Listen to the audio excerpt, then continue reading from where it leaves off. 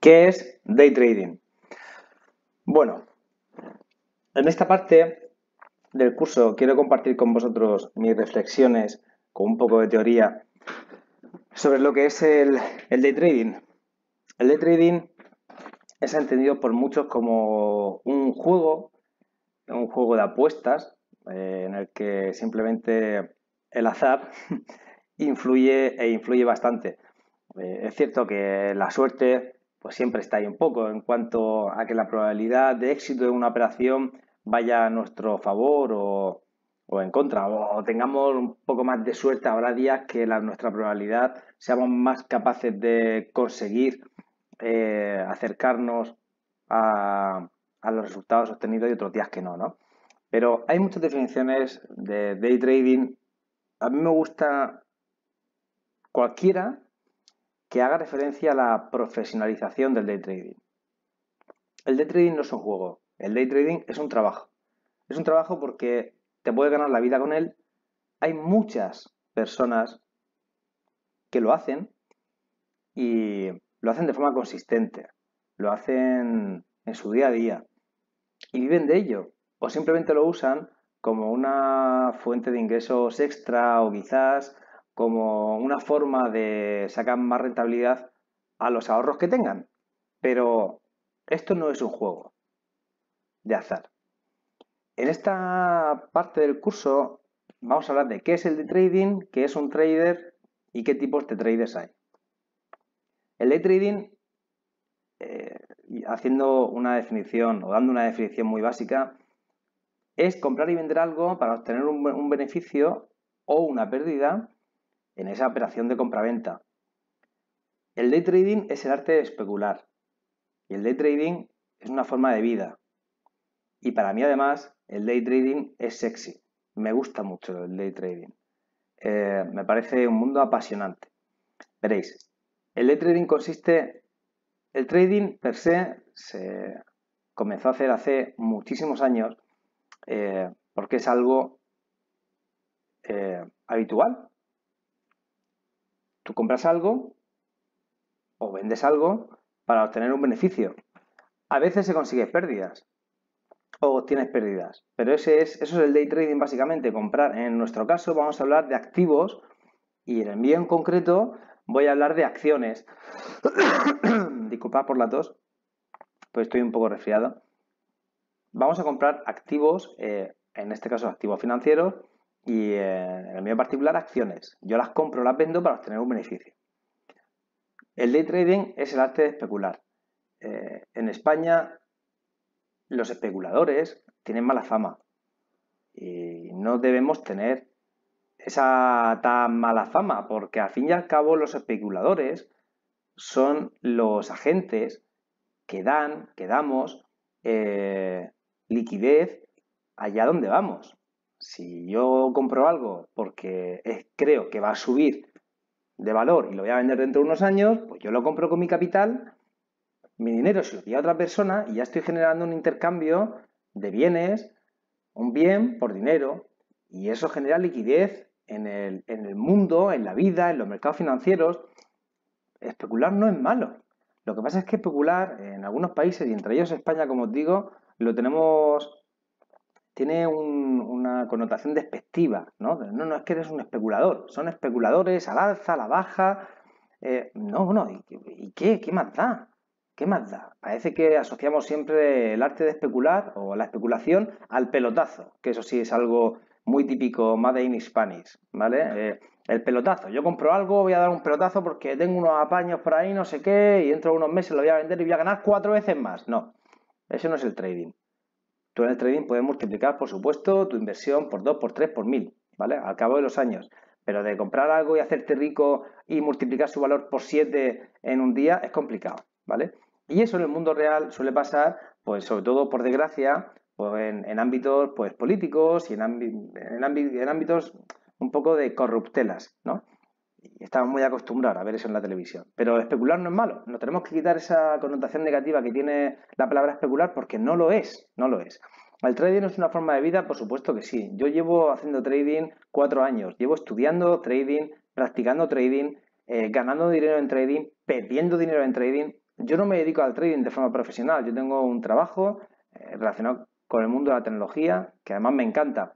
Eh, yo no soy trader eh, profesional, no me dedico a esto al 100%, pero sí conozco a un montón de traders, a un montón de personas que se dedican a hacer day trading y conozco a otro montón online, he visto un montón de vídeos, mantengo contacto con ellos que se dedican a esto de forma profesional y viven de esto. Por lo tanto, el trading es una forma de vida y el trading es sexy. Es un, a mí me parece algo muy, muy interesante. Me parece algo eh, sorprendente. Me parece algo que no enseñan en las universidades, ni por supuesto en los colegios. Esto es algo que tú eh, aprendes porque te llama la atención y lo continúas haciendo y continúas sufriendo en el día a día porque te gusta, porque es un, es un trabajo que engancha, que si te apasiona como cualquier trabajo, es realmente bonita eh, la relación que puedes tener con el day trading.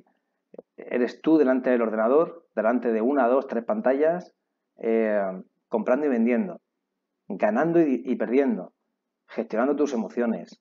Es una forma de conocerte a ti mismo increíble. La verdad es que a mí me ha ayudado a, conocer muchos puntos débiles de mi personalidad y a mejorar algunos. Y otros, pues estoy en ello. ¿Qué es un trader? Pues un trading es la, un trader es la persona que hace trading y ya está. Disculpad que haga comentarios tan básicos sobre el trading, pero entiendo que habrán personas pues que, no lo sepan. ¿no? Un trader es la persona que hace trading y el trading es comprar o vender algo eh, para obtener un beneficio o una pérdida con ello. A los traders también se le llama a veces day trader. Esto lo vamos a comentar ahora un poco más adelante. Pero que sepáis que un trader pues es una persona que hace trading. ¿Cuántos tipos de traders hay? Pues mirad, hay mucho escrito sobre esto, hay mucha literatura y hay muchas clasificaciones, topologías de traders. Pero bueno, em, yo me quedo con una clasificación en cuatro tipos. Realmente son tres y ahora veréis por qué. Pero para que quede claro, he puesto cuatro tipos. En primer lugar están los day traders.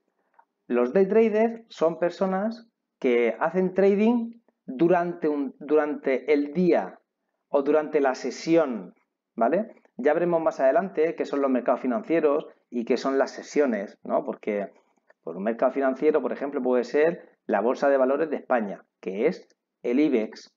El IBEX tiene un horario de apertura que creo que es las 9 de la mañana, hora española, y una, una hora de cierre, hora española, que son las 5 de la tarde, creo, las 5 y media. Bueno, pues un day trader que opere el IBEX, pues será un day trader que abre operaciones, eh, comienza a operar a las 9 de la mañana, hora española, y termina de operar a las 5 de la tarde, hora española, ¿vale? Eh, son traders que operan durante una sesión, la sesión de un mercado, ¿vale? Eh, el IBEX, pues el IBEX. Eh, Wall Street, pues Wall Street, el LAX, el LAX, lo que sea. Estos day traders tienen unas características que comentaremos ahora después. Los scalpers, esto debería ser, los scalpers realmente son day traders. Lo que pasa es que eh, para mí adquieren especial importancia por dos motivos. En primer lugar, porque los day traders, la mayor parte de ellos hacen scalping. Y en segundo lugar, porque yo soy scalper. Un scalper es, una, es un day trader, es decir, una persona, un trader, que hace operaciones en un día, pero esas operaciones duran muy poco tiempo, son operaciones muy rápidas, son operaciones que duran segundos o minutos, no más, ¿vale? Luego están los swing traders, que son traders a medio plazo, es decir, yo hablo una operación hoy eh, con una compañía, por ejemplo, una que nos suena a todos, eh, pues Telefónica. Yo abro hoy una operación comprando acciones en largo en Telefónica, porque creo que van a subir, y la cierro cuando llega un objetivo que yo preveo que va a ser dentro de una semana o dos. Oye, que si llega antes, pues también. Pero son eh, operaciones a medio plazo, medio plazo como entendido como días o semanas, ¿vale? Incluso meses. Y luego están los traders a largo plazo, que son los traders que simplemente compran acciones de una compañía porque eh, ven, le gusta la compañía, le gusta lo que hacen, esto sí lo caracteriza mucho, eh, compran en un momento y confían que va a subir a largo plazo, ¿vale? Pues estos son los traders, son realmente, los traders a largo plazo ya, son, ya se llaman más inversores, ¿no? Que son además son los inversores que suelen salir en televisión, eh, pues que compra acciones de Coca-Cola hace 10 años y ahora fíjate lo que se ha revalorizado, no sé qué, o de Amazon. Algún ejemplo claro de traders a largo plazo, luego veremos alguno, de Warren Buffett, por ejemplo, por mencionar uno, ¿vale? Bueno, esta es eh, mi topología y mi clasificación de traders, aunque como digo, podrían ser eh, tres. Day traders, swing traders y traders a largo plazo, dependiendo del tiempo que duren sus operaciones, ¿vale? De un día, day traders, varios días swing traders y traders a largo plazo, pues meses. Eh, ¿Qué son los day traders? Pues los day traders, como comparto aquí con vosotros, son los, son los traders que abren una operación y la cierran en un periodo de tiempo corto, que en ningún caso es mayor a una sesión o a un día. Y sea cual fuera el mercado que opera un day trader, una cosa es común a todos ellos, y es, y esto es lo más importante, que no se van a dormir nunca dejando una operación abierta, ¿vale? Nunca, ni poniendo stop loss, que ya veremos lo que es, es decir, ni protegiendo, ni diciendo, oye, si llega a este precio y yo estoy durmiendo, que se cierre, que el sistema cierre automáticamente la operación. Eso nunca pasa. Un day trader abre operaciones en un día y las cierra al mismo día. Da igual que duren segundos, minutos, da igual. Eso da igual. Da igual que el day trader eh, opere una hora, eh, una sesión o toda la sesión, que de esto también los hay, ¿vale? Pero lo que les caracteriza a todos, el denominador común de todos es que ninguno se va a dormir con una operación abierta. esto es importante. Respecto a, a los traders, a los day traders, ahí me gustaría comentar algo importante. Y esto ya para que os empiece a sonar, y si habéis visto mis vídeos también lo percibiréis. Yo, por ejemplo, opero la primera media hora de mercado de la sesión de Wall Street. Bien, ¿esto por qué? Mirad, el day trading es un trabajo muy duro psicológicamente hablando. Requiere concentración y esfuerzo. Y esa concentración y esfuerzo que una persona, un trader hace delante del ordenador, eh, desgasta y agota. Cansa muchísimo. Yo la verdad es que termino muy cansado cuando estoy más de una hora o dos horas operando. Por eso, no todos los traders operan eh, durante eh, toda la sesión. Es muy difícil operar durante toda la sesión. Los day traders eh, suelen tener un horario, unas reglas. De esto también hablaremos más adelante. cada uno tiene sus reglas y tiene su momento de operar. O bien porque él ya lo tiene predefinido así, ya llega a, la conclusión de que la primera media hora de mercado o la última hora de mercado o a mitad de mercado de, la sesión, mejor dicho, a mitad de la sesión, es su mejor momento, pues porque tiene trabajo va a casa a comer o porque por la mañana antes de irse a trabajar eh, opera o cuando llega por la tarde-noche después de trabajar, ese es su momento, ¿vale?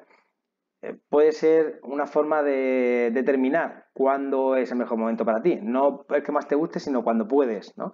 Luego hay day traders que son profesionales, que se dedican a esto de forma profesional.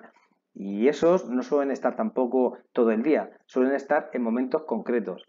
Bien eh, porque le vengan dados por, su propia forma de operar, porque le venga bien, le guste operar a primera hora, está recién levantado, está fresco, la cabeza despejada, eh, o incluso ellos mismos dicen cuando tienen un problema personal o emocional y saben que no deben operar porque emocionalmente no están bien, no están estables, no operan eh, durante ese día, esa sesión y ya está y no pasa nada, ¿vale?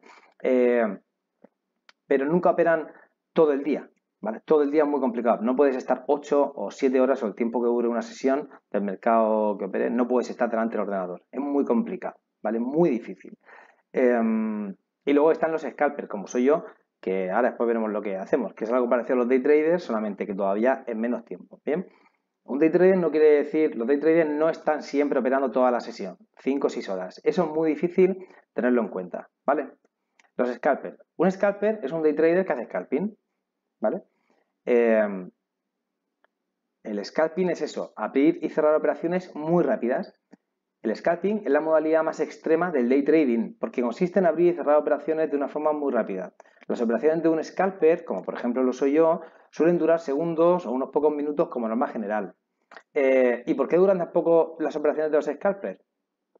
Porque los scalpers, y esto si lo habéis visto en mis vídeos, os habéis dado cuenta, buscamos movimientos explosivos.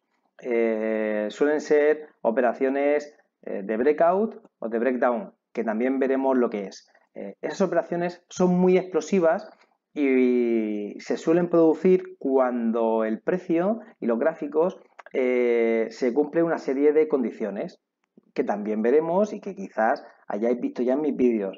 Pero por eso, quizás, si el trabajo del trading es complicado, el trabajo del day trader también, porque tiene que estar durante la sesión pendiente, durante un tiempo. El trabajo del scalper todavía es más intenso, porque tiene que ser capaz de tomar decisiones muy rápidas en muy poco tiempo y el nivel de estrés que eso genera es muy elevado. Y esto lo veréis, si no lo habéis vivido ya, lo veréis y lo viviréis y lo sentiréis cuando estéis con una cuenta real haciendo scalping. Os daréis cuenta eh, el nivel de estrés que genera, porque lo genera muy alto. Y ese es el motivo por el que el desgaste psicológico, incluso también físico, se note en un scalper. O sea, no el hecho de estar sentado en una silla quiere decir que estés tranquilo y que sea sencillo, ¿vale?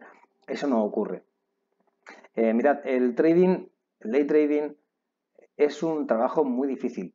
Tiene cosas interesantes. Por ejemplo, es un trabajo en el que estás tú solo. Eh, eres tú con una máquina y el mercado. O eres tú y el mercado. Y ya está. No tienes que buscar clientes, no tienes que pelearte con ningún cliente, con ningún proveedor, no tienes que eh, intercambiar emails, hacer llamadas telefónicas. Eres tú y ya está si fijaos, es un entorno como ideal, ¿no? Eh, esto es genial, súper super fácil. Fíjate que limpio, estoy delante de un ordenador y yo compro y vendo y esto, oye, esto es una maravilla. Pero ojo, ¿eh? que la presión y el estrés que inyecta el trading es muy difícil de gestionar. ¿Por qué? Porque aprender trading es fácil, es muy sencillo. Se entiende, no hace falta tener ningún tipo de estudio en concreto no hace falta ser licenciado, ni diplomado, ni, nada.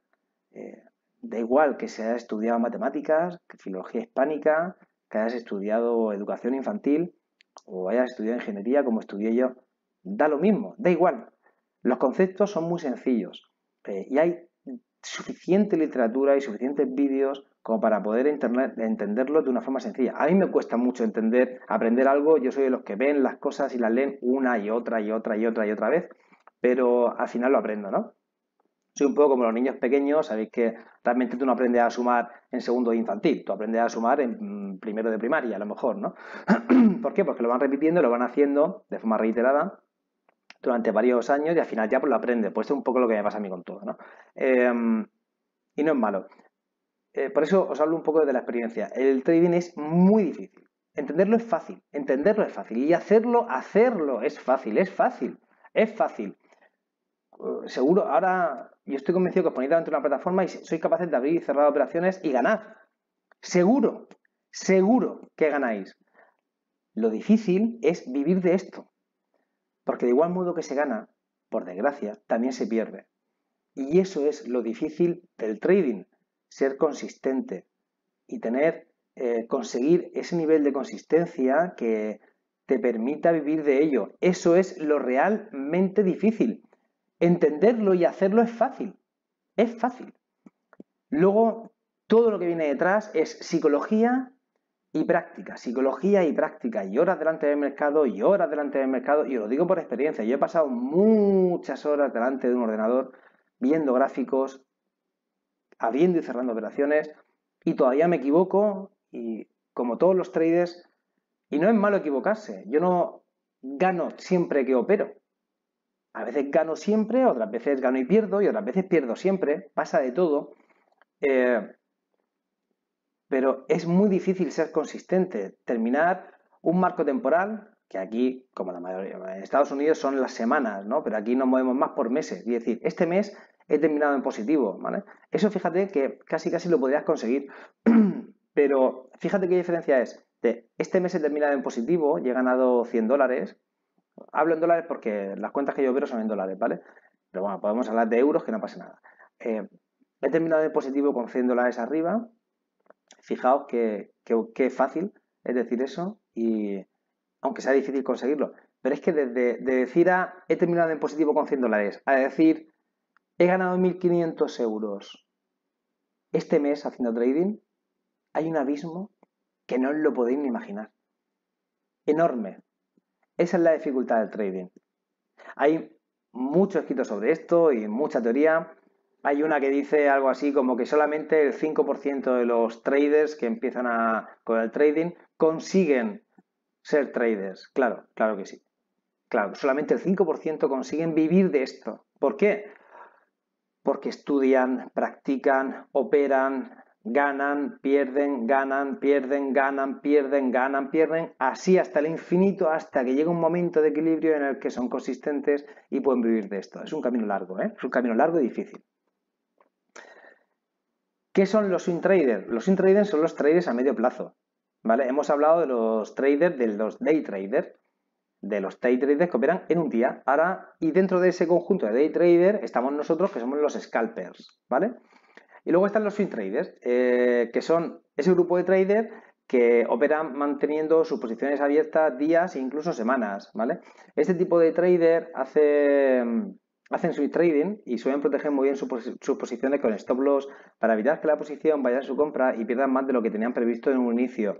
Esto lo he adelantado un poco antes, aunque no sepáis lo que es el stop loss, da igual. O sea, es simple quedar con el concepto de que yo puedo poner puedo lanzar una orden al mercado y decir, oye, quiero comprar eh, acciones de Facebook a este, al precio de ahora, ¿no? No sé, imaginaos, 170 dólares, me lo estoy inventando. Y, sé que me voy a ir a dormir, pues soy un swing trader y voy a dejar la operación abierta e incluso días, me da igual. Pero yo le puedo decir al programa, oye, mira, le he comprado a 170 dólares, ¿vale? Pero ojo, si la acción llega a 168 dólares, es decir, que baja 2 dólares, eh, quiero que tú, el sistema, el programa que use, la cierres por mí, porque yo voy a estar durmiendo, o voy a estar trabajando, voy a estar.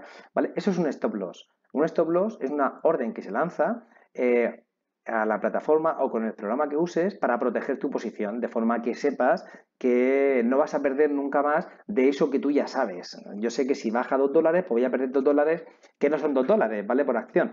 O sea, son 2 dólares por acción, Luego ya multiplicado por el paquete de acciones que operes, pues puede ser 100 dólares, 500, 1000, 2000, 3000, lo que sea, ¿vale? Pero yo puedo poner mi stop loss a 2 dólares por debajo de, mi precio de entrada. De esa forma voy tranquilo. Pero ojo, esto tiene un peligro y es que a veces los movimientos, y esto pasa, ¿eh? Tened claro que esto pasa y es importante que lo tengáis claro. Eh, eh, a veces los movimientos del precio son, son muy bruscos, se producen movimientos muy bruscos, iba a decir, se producen velas, luego veréis lo que son las velas, lo explicaré también, muy bruscas y hacen que no dé tiempo al sistema actualizarse. Entonces el stop loss salte, pero salte todavía un poco más abajo del que yo lo he puesto. Es decir, yo puedo abrir una posición a 170 dólares, eh, poner un stop loss a 168, como he dicho antes, y levantarme mañana y decir, oye, va, me ha, sacado la posición porque ha saltado mi stop loss, pero me ha saltado a 167.5 dólares. Joder, ¿qué ha pasado? Pues lo que ha pasado ahí es, si hablas con tu broker, te dirá, mira, lo que ha ocurrido es que tú pusiste un stop loss, pero y el stop loss se ejecutó, pero el movimiento del precio fue tan rápido, o el precio abrió un split tan rápido, ya veremos lo que es el split, eh, que no dio tiempo a que se cerrara la posición a 168. Y el stop se ha ejecutado a 100 67.5.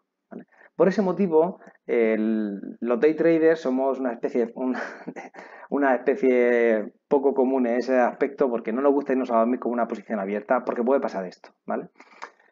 ¿Qué, caracteriza a los swing traders? Pues que están muchas horas delante del ordenador.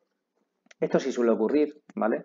Eh, sus momentos importantes para operar son dispares porque dependen de los horarios de apertura de los principales mercados financieros. Eh, está muy pendiente del impacto de las noticias económicas en los mercados financieros, sus operaciones pueden estar abiertas días, semanas, incluso meses, y suelen proteger muy bien sus operaciones con stop loss para evitar sorpresas mientras no están delante del ordenador, aunque, como ya acabo de comentar, sí puede ocurrir eso, ¿vale? Eh, el asunto de que estén muchas horas delante del ordenador, esto también depende, ¿vale? Hay swing traders que eh, analizan el mercado a la primera hora de mercado, lanzan sus posiciones o simplemente ven cómo va su cartera de acciones o de activos que tengan comprado en los que estén invertidos lo analizan, ven cómo va todo y se van y ya está. Ellos se van, hacen su vida con normalidad y luego vuelven, ¿no? Esto, como digo, Depende, depende. Pues hay swing traders que están todo el día adelante y otros que no, ¿vale? Sus momentos importantes para operar son dispares porque dependen de los horarios de la apertura de los principales mercados financieros. Luego veremos más adelante lo, que son los mercados financieros. Los mercados financieros hay varios, varios, eh, depende, va por país. Bueno, algunos van por países, otros por sectores pero hay horarios establecidos en los que unos abren, otros cierran y los momentos de mayor volatilidad y volumen en los mercados suelen ser o en la apertura y cierre de los mercados Y eh, en, en, ese camino, en ese intervalo de tiempo, suelen, lo que suele meter volatilidad y volumen a los mercados son las noticias eh, económicas y financieras que se producen durante el día.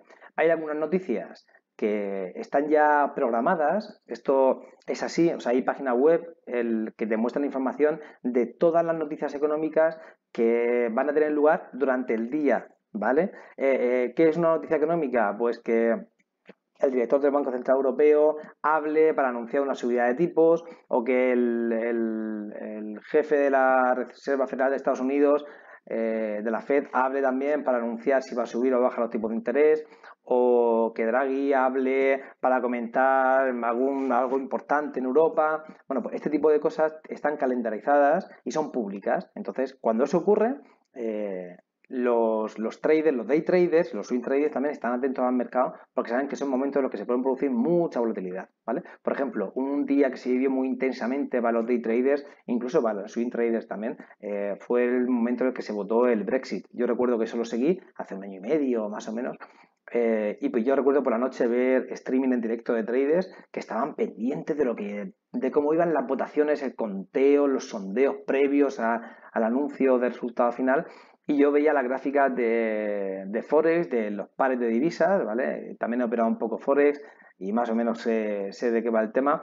Eh, la libra dólar, por ejemplo, y había una volatilidad tremenda y estaba todo el mundo pendiente de lo que iba a pasar para posicionarse o para entrar y salir, en fin, son momentos muy importantes. Y luego hay otros momentos pues que no se sabe, durante el día pueden pasar un montón de cosas, pues que una compañía tenga un problema de seguridad, por ejemplo, esto le pasó a Facebook hace unos meses con Cambridge Analytica, y eso haga disparar todas las alarmas, hagan noticias en prensa, y Facebook eh, ha consentido que una empresa le robe datos para analizar e influenciar en la intención de voto de su usuario. ¿eso que provocó? Pues eso provocó, y lo viví yo también, y lo vi que las acciones de Facebook de Face pegaron un capuzón de un 10%, un 15%, un 20% creo que van a caer. Es una barbaridad. De hecho, fue eh, la mayor pérdida bursátil de toda la historia de Wall Street. No en porcentaje de caída, porque yo hago day trading todos los días y sí veo caídas del 40%, 30%, pero sí fue el mayor golpe de Wall Street, eh, el golpe de Face cuando salió lo de Cambridge Analytica, eh, en, cuanto a valoración bursátil, la cantidad de miles de millones de dólares que perdió Facebook en un día. Fue alucinante.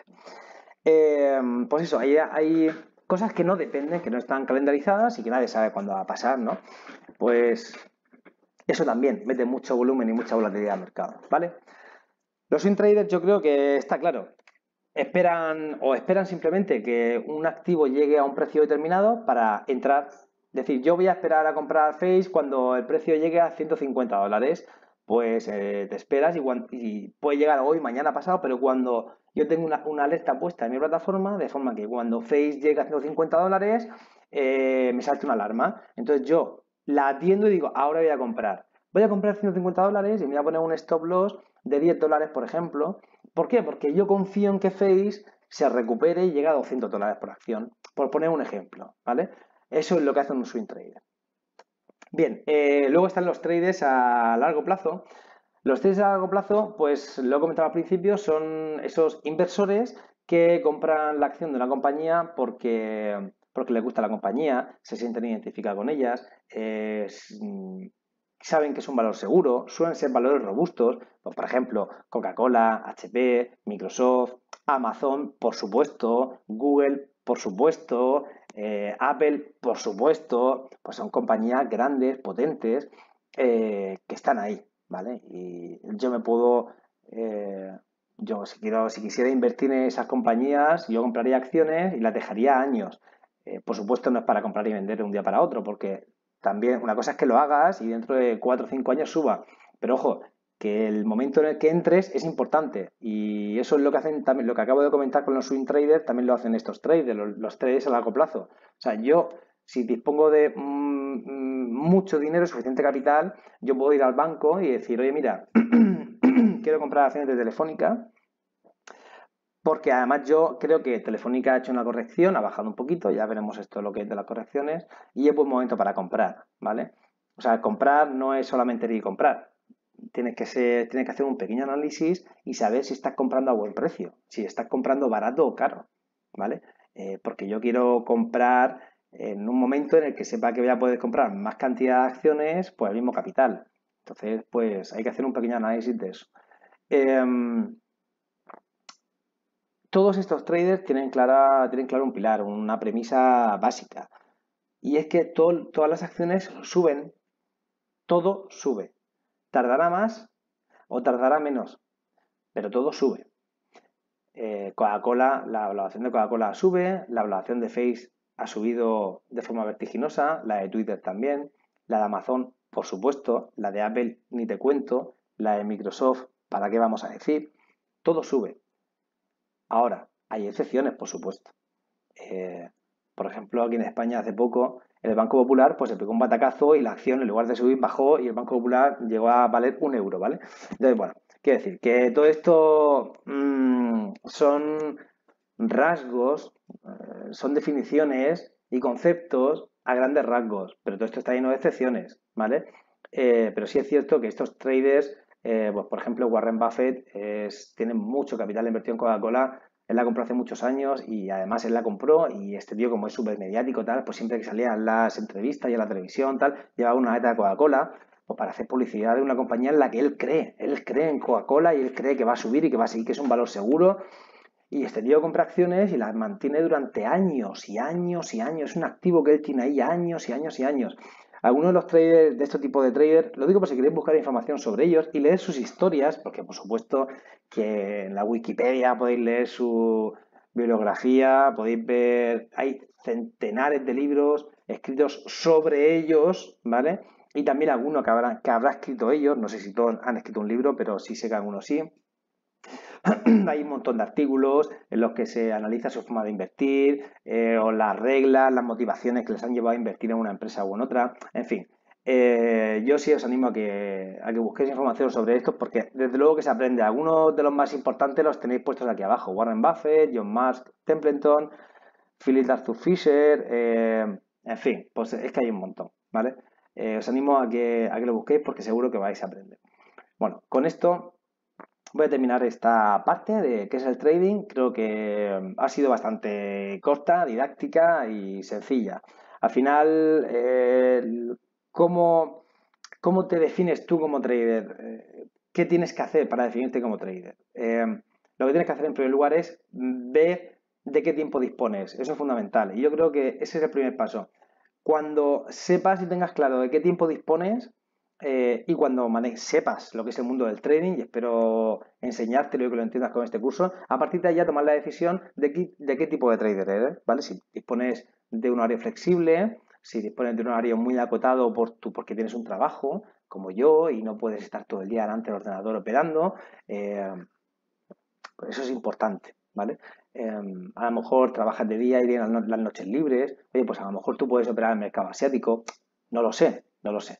Pero por eso digo que es importante saber identificarnos como traders. Ponernos la gorra de day trader, de scalper, de swing trader o simplemente de ser un inversor a largo plazo que se va a su banco y le dice, oye, mira, quiero acciones de Iberdrola porque me mola y quiero invertir 10.000 euros en Iberdrola.